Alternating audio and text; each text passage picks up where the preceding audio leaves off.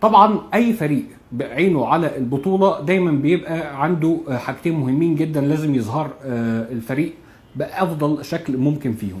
اولا النقطة الدفاعية الجانب الدفاعي لازم يكون منضبط جدا ولازم الفريق يبقى عارف يلعب مباراة صعبة عليه. ايا كان خصمه ايا كان الملعب ايا كانت الظروف اللي بيواجهها.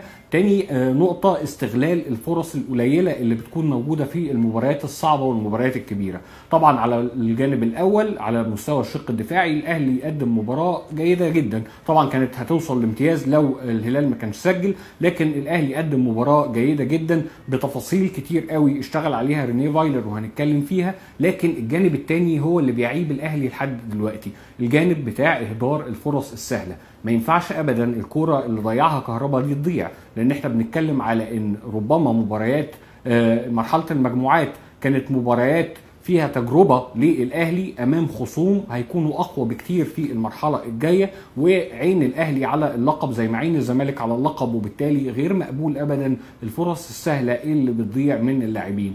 غير مقبول إن اللاعبين يبقى ما عندهمش قرار كمان في أرض الملعب واضح في الفرص اللي بتجيلهم. لازم الحاجات دي تكون بديهيات بالنسبة لهم ولازم الشغل عليها يبقى كتير جدا لأن في النهاية اللي بيحسم البطولات إنك تفضل مركز طول 90 دقيقة في الدفاع وإنك تعرف تسجل الفرص اللي بتجيلك. لك. كرة القدم بمنتهى البساطة يعني. خلينا نتكلم على الجوانب الدفاعية اللي عملها رينيه فايلر في مباراة النهارده. طبعا تحية كبيرة ليه لأنه اولا مدرب من المدربين اللي دايما بتحب تلعب على الاستحواذ وتلعب على السيطرة على الكورة لكن في مباراة النهارده قرر يلعب كرات عالية. ليه قرر يلعب كرات طولية على مروان محسن؟ ببساطة هو كان بيحاول يبعد اللعب عن منطقة جزاء فريقه بكل الطرق الممكنة. وببساطة كمان كان بيحاول يستغل إن لعيبة الهلال عشان مشحونة علشان على أرضها علشان لازم تلعب مباراة هجومية فما كانتش بتتراجع لأداء الدور الدفاعي. وبالتالي لما مروان محسن كان بينزل الكورة أي حد جاي من وسط الملعب هو لاعب أهلاوي لأن لعيبة الهلال مش بترتد معاه وبالتالي وسط الملعب بتاع الأهلي سيطر على الكرات الثانية وبالتالي ظهر الأهلي بشكل أكتر من ممتاز خاصة في الشوط الأول.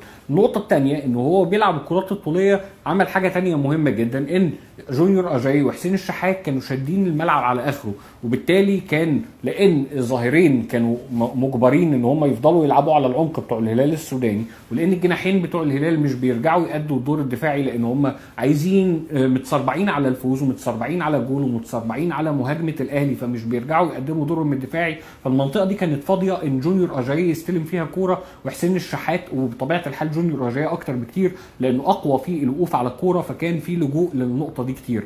فجونيور اجاي كان بيفتح الملعب على الآخر ما يلاقيش معاه حد يستلم الكورة يقف عليها بشكل جيد جدا يحاول يربط مع واحد تاني من أهم اللاعبين اللي كانوا موجودين في الأهلي وهو اليو ديانج أو عمرو السولية يكون أيمن أشرف نقل نفسه نقلة لقدام ففضل الأهلي قادر إن هو يتسحب من منطقة جزاء لحد وسط الملعب بطريقة أكتر من ممتازة.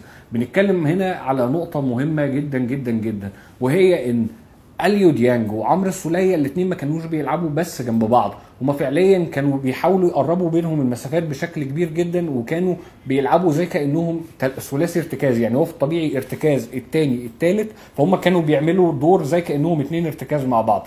أليو ديانج وعمرو السولية كانوا بيلعبوا دايما في جبهة واحدة علشان يساعدوا بعض في إن الأهلي يستخلص الكرة بسرعة. ده اللي بيسموه الضغط العكسي إنك تفضل موجود جنب زميلك وهو معاك كورة عشان أول ما تتقطع تعمل ضغط عكسي تسترد الكورة مرة تانية.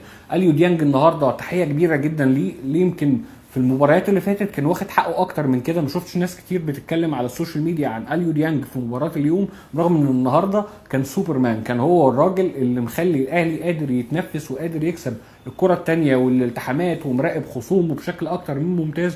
ما بيخسرش الكورة تحت الضغط. كان لاعب سوبر وكان مفيد جدا للأهلي في الواجبات دي. فإحنا بنتكلم على إن مروان محسن كان ممتاز أيمن أشرف كان ممتاز على عكس تخوفات جمهور الأهلي دايما إن الثنائي ده بيبقى عليهم تحفظات كتير. لكن لأن التوظيف كان نموذجي من رينيه فايلر للاثنين دول لأنه اعتمد على أهم نقطة عند مروان وهي الكرات الطولية واعتمد على أهم نقطة عند أيمن أشرف إنه مش بيندفع بسرعة. الراجل بياخد وقت قبل ما ياخد القرار بتاع الاندفاع الهجومي وده أفيد للفريق كان من علي معلول في وجهة نظر رينيه فايلر واللي ما اثبتتش خطأها بالعكس ربما تكون اثبتت صحة وجهة النظر دي.